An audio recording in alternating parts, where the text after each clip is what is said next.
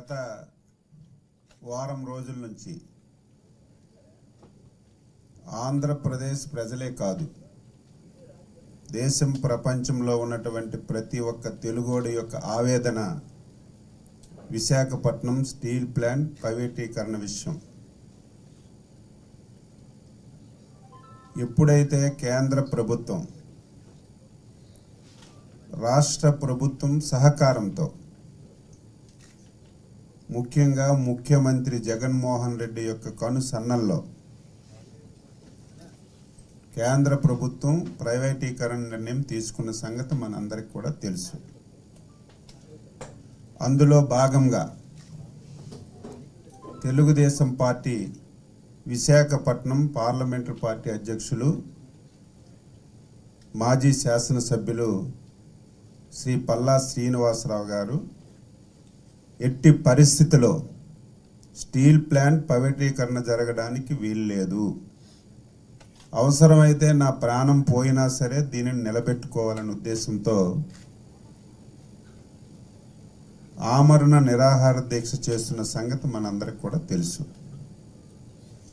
ఈ రోజుకి ఆరు రోజులు పూర్తి కావస్తుంది. మొన్ననే కోవిడ్ వచ్చి చాలా ఇబ్బంది పడినటువంటి వ్యక్తి అయినా సరే త్యాగం చేసి నా ఒక్కడ త్యాగం తెలుగోడి యొక్క ఆత్మ గౌరవానికి సంబంధించినటువంటి విశాఖ స్టీల్ ప్లాంట్ నిలబెడుతుందన్న ఉద్దేశంతో కంటిన్యూ చేసిన సంగతి కూడా గుర్తుపెట్టుకోవాలి. ఎంత జరుగుతున్నా సరే ఇదేదో ఒక ప్రాంతానికో ఒక పార్టీకో ఒక వ్యక్తికో సంబంధించినటువంటి విషయం కాదు. ఉమ్మడి ఆంధ్రప్రదేశ్లో ఆ రోజు ఉన్నటువంటి ఎనిమిది కోట్ల మంది ప్రజలు పోరాటం చేసి దాదాపుగా ముప్పై రెండు మంది ప్రాణ త్యాగం చేసి ఎంతోమంది ఎన్నో ఇబ్బందులు పడి సాధించుకున్నటువంటి స్టీల్ ప్లాంట్ని ప్రైవేటీకరణ చేస్తుంటే రాష్ట్ర ప్రభుత్వం కానీ ముఖ్యమంత్రి కానీ కనీస స్థాయిలో స్పందించకపోవడం బాధ ఆవేదన కలుగుతుందని చెప్పి తెలియచేస్తున్నాను. ఆరు రోజులైంది. రాత్రే పదకొండు గంటలప్పుడు చాలా ఆవేదన చెందుతున్నాం. పదకొండు గంటలప్పుడు వామిటింగ్స్ అయి ఏమి జరుగుతుందో తెలియనటువంటి పరిస్థితిలో ఈరోజు విశాఖపట్నంకు సంబంధించినటువంటి నాయకులందరం కూడా అత్యవసరంగా సమావేశం పెట్టుకున్నాం. ఆరు రోజులైంది. ఆయన ఆరోగ్య పరిస్థితి గురించి డాక్టర్లు ఇచ్చినటువంటి సూచనల గురించి కూలంకుషంగా చర్చించాం. చర్చించిన తర్వాత రేపు మధ్యాహ్నం రెండు గంటలకి జాతీయ పార్టీ అధ్యక్షులు శ్రీ నారా చంద్రబాబు నాయుడు గారు శ్రీనివాసరావు గారికి సంఘీభావం తెలియజేయడానికి రమ్మని చెప్పి పిలవడానికి ఈరోజు ఒక నిర్ణయం చేశాం. ఆయన దృష్టిలో పెట్టాం. ఆయన కూడా రేపు వస్తున్నారు. నేను ఎందుకు ఈ మాట చెప్తున్నానంటే ఆరు రోజులు అయిన తర్వాత ఒక ఎంఆర్ఓ కానీ ఒక పోలీస్ ఆఫీసర్ కానీ ఒక ప్రభుత్వంలో ఉన్నటువంటి ఉద్యోగి కానీ జిల్లా కలెక్టర్ కానీ ఒక కాజు గురించి దీక్ష చేస్తున్నటువంటి వ్యక్తి యొక్క పరిస్థితి ఏ రకంగా ఉందో కనీసం స్పందించినటువంటి దౌర్భాగ్యమైనటువంటి ప్రభుత్వం ఈ రాష్ట్రంలో ఉండడం దౌర్భాగ్యమైనటువంటి వ్యక్తి ఈ రాష్ట్రానికి ముఖ్యమంత్రిగా ఉండడం బాధ కలుగుతుంది. ఈరోజు దొంగే దొంగ అన్నట్టుగా నేను మొన్నే చెప్పాను. ఈరోజు విశాఖపట్నం స్టీల్ ప్లాంట్ ప్రైవేటీకరణ జరగడానికి కర్మ కర్త క్రియ. జగన్మోహన్ రెడ్డి. ఇదేదో విమర్శ చేయడం కాదు ఆధారాలతో సహా నిరూపిస్తున్నాం. ఆధారాలతో సహా చూపించాం. వారం రోజులైంది కనీసం నోరు మెదపటం లేదు. ముఖ్యమంత్రి ఒక్క మాట అంటే ఒక్క మాట. స్టీల్ ప్లాంట్ గురించి మాట్లాడిన సందర్భం లేదు. ఎవడో డ్రాఫ్ట్ చేసినటువంటి లెటర్ మీద సంతకం పెట్టి ఒక లెటర్ రాశానని చెప్పి మాయ మాటలు చెప్తున్నాడు. నీ లెటర్ ఎవరికి కావాలి? ఈరోజు రాష్ట్రంలో ఇరవై ఎనిమిది మంది ఎంపీలు ఉన్నారు. ఈ రాష్ట్రానికి ప్రభుత్వంలో అధికారంలో ముఖ్యమంత్రిగా ఉన్నావు.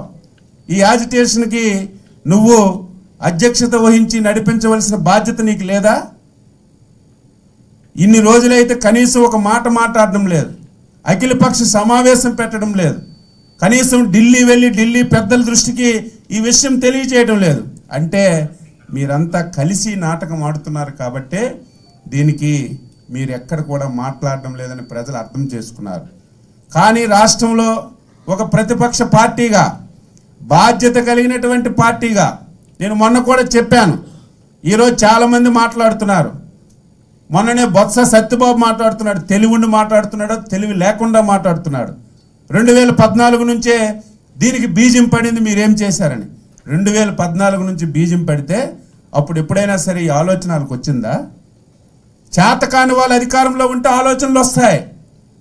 ధైర్యంగా ఉన్నటువంటి నాయకుడు ముఖ్యమంత్రిగా ఉన్నాడు కాబట్టే ఆ రోజు తీసుకుంటే వ్యతిరేకిస్తాడు కాబట్టి ఆ రోజు వాళ్ళ ఆలోచనలో ఉన్నా సరే వాళ్ళు తీసుకోలేదు.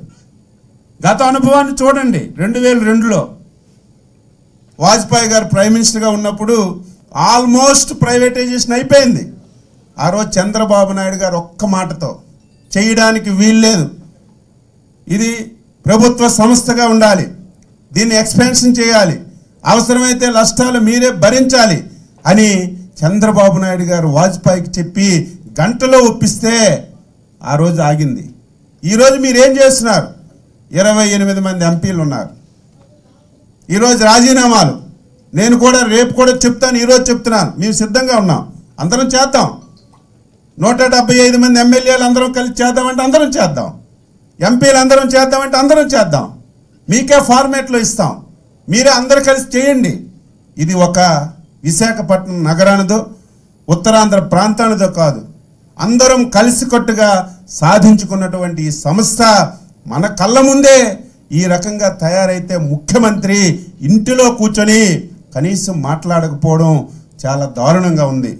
దీన్ని సాధించడానికి కేంద్ర ప్రభుత్వం దృష్టి విశాఖపట్నం స్టీల్ ప్లాంట్ పై పడడానికి ఒక వ్యక్తి ఆమరణ నిరాహార దీక్ష చేస్తుంటే కనీసం ఆ వ్యక్తి ఆరోగ్యం ఎలాగుంది? పరిస్థితి ఏ రకంగా ఉంది? ఏం చేయాలి? కనీసం స్పందన లేనటువంటి ప్రభుత్వం ఉంది. కేంద్ర ప్రభుత్వం కూడా స్పందించడం లేదు. అందుకే రేపు మా నాయకుల్ని ఇక్కడికి రమ్మని చెప్పాం. ఆయనకి సంఘీభావం తెలియజేస్తాం. ఒక బహిరంగ సభ కూడా పెట్టి తెలుగుదేశం పార్టీ ఈ విధానం పైన ఈ ప్రైవేటైజేషన్ పైన ఏ రకమైనటువంటి స్టాండ్ తీసుకుని ముందుకెళ్ళాలో రేపు ప్రజలకు తెలియజేస్తామని ఈ సందర్భంగా తెలియచేస్తూ రేపు అందరూ కూడా ఇది పార్టీ కార్యక్రమం కాదు ఇదేదో ఒక వ్యక్తిది కాదు. విశాఖపట్నం నగరంలో ఉన్నటువంటి ప్రతి ఒక్కరూ రేపు ఆ కార్యక్రమంలో భాగస్వామ్యమై రేపు ఈ యాజిటేషన్ని ఇంకా ఉధృతం చేయడానికి సహకరించమని చెప్పి ఈ సందర్భంగా తెలియచేస్తున్నాను.